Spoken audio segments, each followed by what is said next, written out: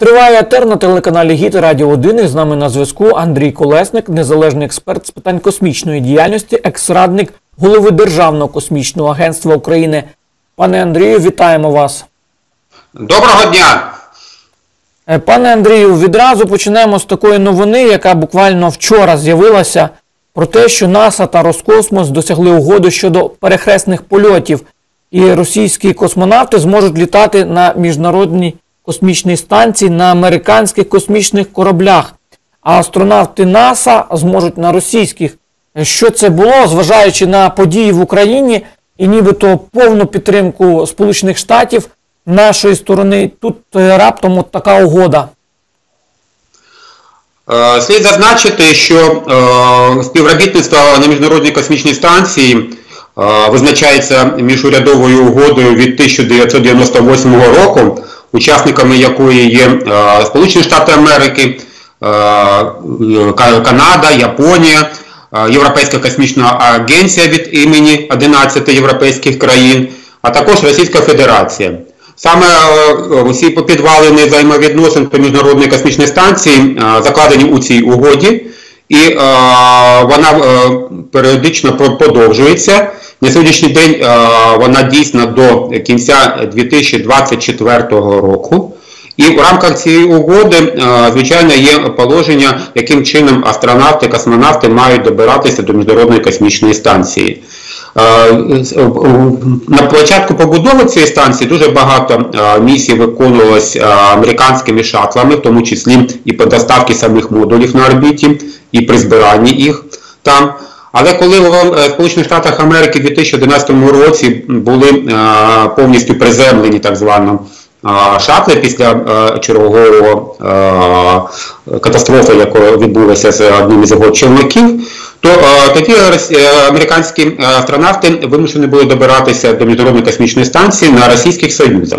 Це тривало майже 10 років до тих пір, поки два роки тому вже е, американський пілотований космічний корабль від SpaceX е, е, під назвою Crew Dragon не був введений в експлуатацію. Після цього американська сторона змогла знову розпочати доставляти своїх астронавтів, а також астронавтів від країн-партнерів, тобто Європейського космічного агентства, від Японії, від Канади на борт міжнародної космічної станції. Е, В свою чергу росіяни теж не е, припиняли доставку космонавтів на е, міжнародну космічну станцію, але обмежувалися своїми екіпажами.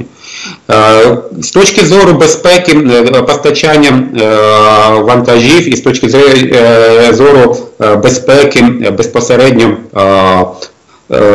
перебування на міжнародній космічній станції членів е, к- е, країн-членів міжнародної космічної станції, учасників цієї угоди, то звичайно американська сторона вважає, що потрібно е, вводити режим безпеки цього питання, і таким чином, якщо Космос це ж дуже така у нас е, мінлива е, сфера. Якщо е, якщо е, знову щось трапиться, наприклад, з тим же американським космічним кораблем, то була б можливість знову літати, продовжувати літати на міжнародну космічну станцію на російському космічному кораблі Союзі. Тому американська сторона, зважаючи на всі ці е, витівки, які були на борту міжнародної космічної станції останнього часу, проти чого е, і навіть нашим е, Міністерство закордонних справ е, виходило заявою, е, навіть наші партнери теж були з відповідними заявами протесту е, представлені. Але американська сторона все-таки вирішила, що потрібно зберігати оцей, е, скажімо так, безпечний режим е, доставки е, астронавтів і космонавтів на міжнародну космічну станцію, і тому вирішили все-таки укладати таку угоду. Але якщо ви бачите по угоді, то вона не дуже довгострокова, вона стосується лише двох експедицій. Перша експедиція, які мають бути у вересні цього року, коли на американському крюдрегені буде російська космонавтка Анна Кікіна. І коли е, і а також е, у вересні буде на Російському Союзі американський писаний американський астронавт. І плюс ще опція у о, на весну 2023 року, де також будуть а, такі змішані екіпажі. Що буде надалі, американська сторона не продовжила ці угоду на дуже великий час, оскільки орієнтовно у грудні цього року, може на початку наступного року, мають бути тестові е, е, іспити е, наступного пілотованого американського корабля, Star лайнер від е, компанії Boeing. Якщо а, цей тестовий а, політ а, двома астронавтами на борту буде вдалий, то тоді американська сторона буде говорити про те, що вони можуть ввести в експлуатацію і другий свій а, космічний а, корабль пілотований. І таким чином, якщо це будуть вже два а, готових для експлуатації американської сторони космічні кораблі, Dragon і Starliner, то тоді може, можливо вже більше не буде такого продовження ідеї е, перехресних польотів. Пане Андрій, а от як можна домовлятися з е, країною, яка от нещодавно ще погрожувала, що вона от міжнародну космічну станцію, ну фактично, ну так умовно в лапках скине так десь там на якусь частині земної кулі. Ну були такі от погрози зовсім же ж недавно. І тут же підписуються угоди. Тобто наскільки це надійний партнер, е, я маю на увазі Росію, якщо з нею підписувати ще якісь е, додаткові угоди. Е, Ці заяви були від уже колишнього очільника Роскосмосу Рогозіна.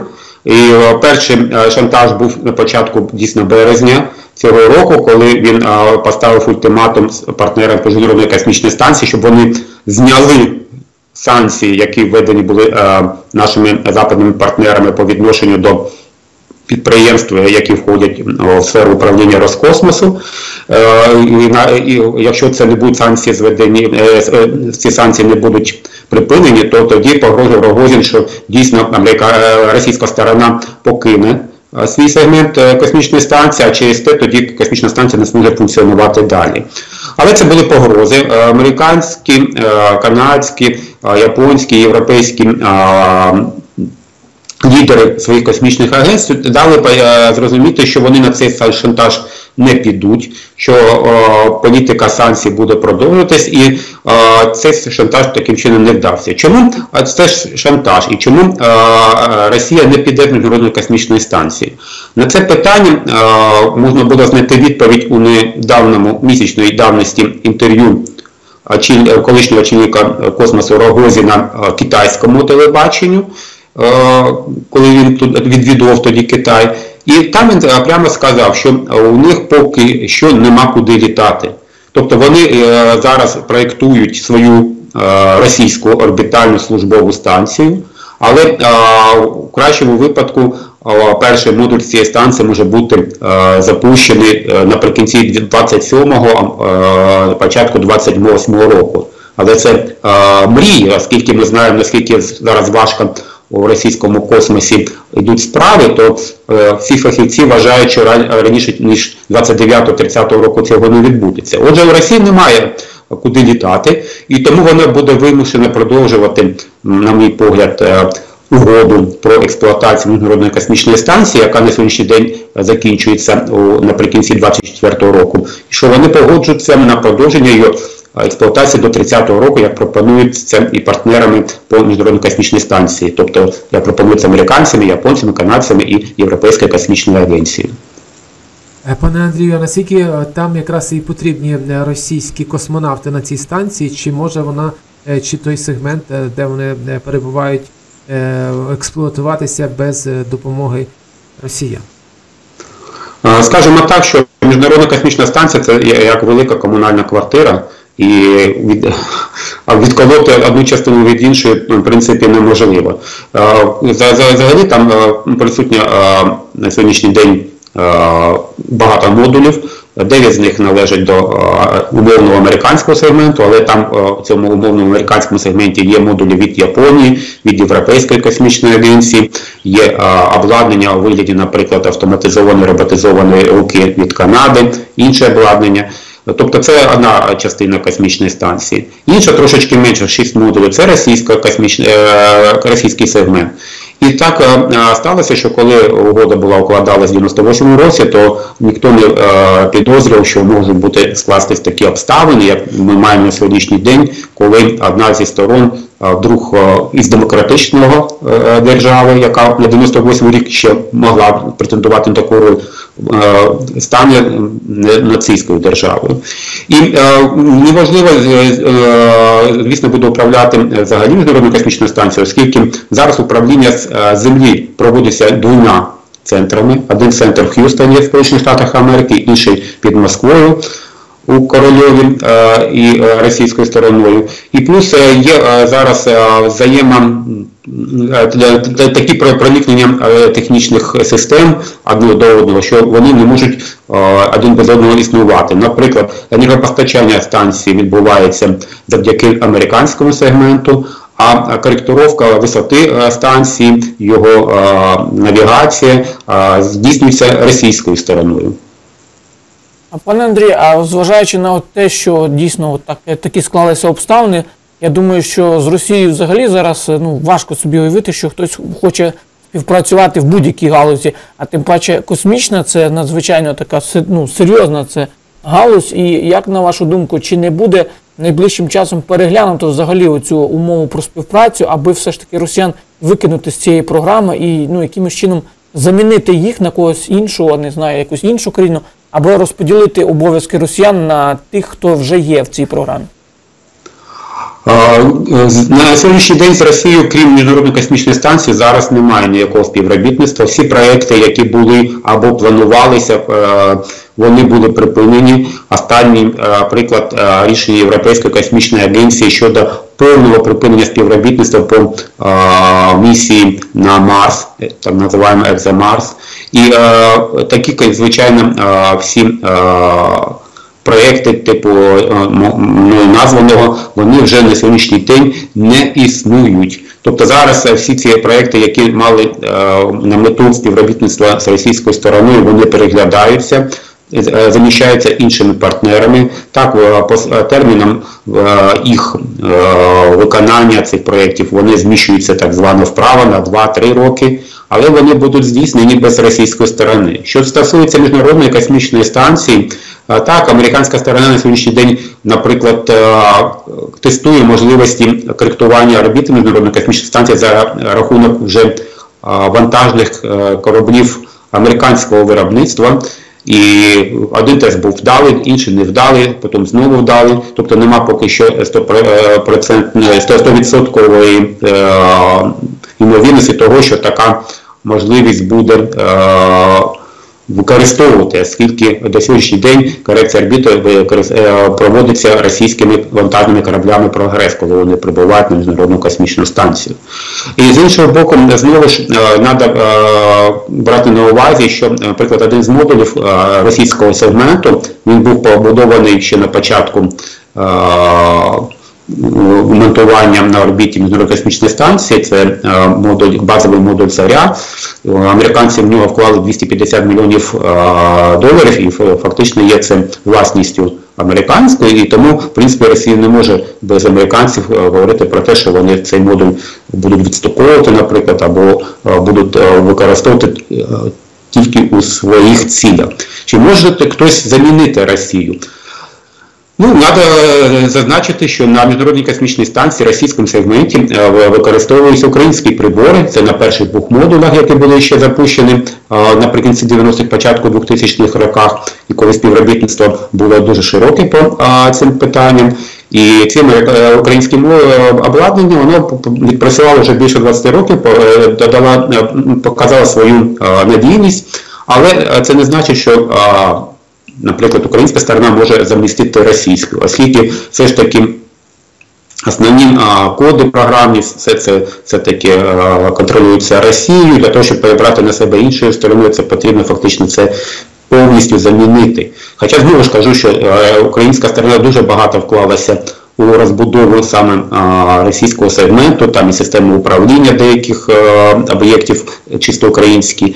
І е, я б я казав, і свого, часу е, системи е, стикування це були е, українського виробництва, але вони зараз замінені на, російські у рамках тоді, коли відбувалася заміна аналогових приборів на цифрові прибори. Тоді Росія багато чого замінила на вже російські прибори. Тобто е, теоретично е, на сьогоднішній день навіть це не буде розглядатися, і на мою думку, все-таки е, сторони будуть співпрацювати до моменту припинення роботи міжнародної космічної станції. Офіційно поки що наприкінці 2024 року, але є великі шанси, що вона буде подовжена все-таки до 2030 року. Пане Андрію, а от ви згадали про те, що космонавтів та астронавтів будуть доставляти на МКС ракетоносієм Союз, але водночас ви згадали про санкції, які е, були накладені е, на е, космічні е, війська е, Росії. Чи наскільки це взагалі буде безпечно використання от е, саме е, Союзу в цьому плані, чи санкції не е, торкнулися цих ракетоносіїв? Е, Ракетоносії, яким використовуються для постачання вантажів, а також для доставки е, космонавтів астронавтів на міжнародну космічну станцію, вони е, стартують з космодрому Байконур. Це цивільний космодром вважається, і там використовується ракета-носій, яка е, в цьому випадку є теж цивільною ракетою. Але іноді ж бачили, який шабаш російська сторона може спровокувати під час е, підготовки до пусків, і ми е, місяць тому бачили е, перед запуском чергового вантажного космічного корабля до міжнародної космічної станції, як там розрисували рос- російська сторона цю ракету, там назвала її Донбас, там намалювала ці, ці ознаки цих територій, які вони тимчасово окуповували, привезли тоді туди е, нібито людей з цих е, територій, які е, е, фотографувались на фоні цих своїх ганчірок. Але, е, е, е, але все-таки е, при трансляціях е, таких пусків, а вони транслюються в тому числі і НАСА, то е, звичайно не демонструються такі е, ознаки, які е, можуть пропагандувати російські наративи. І е, в принципі е, всі ці пуски, які відбуваються з Байконура, вони будуть продовжуватися. Вони будуть продовжуватися під егідою мирного використання космічного простору. І на сьогоднішній день, маючи у членах екіпажів американських астронавтів, що буде вересні, що буде навесні 23-го року, то звичайно ніяких питань про санкцій е, щодо того, що відбувається на Байконурі, щодо того, щодо того обладнання, яке там використовується, звичайно, цього не буде. Дякуємо, пане Андрію, за таку фахову оцінку цих е, речей, які пов'язані з міжнародною космічною станцією. Раді були вас е, чути і бачити в нашому етері. Отож, нагадаю нашим глядачам, слухачам, з нами на зв'язку був Андрій Колесник, незалежний експерт з питань космічної діяльності, екс-радник голови Державного космічного агентства України. На все добре. Дякую. До побачення. Дякую. До побачення. Дякую.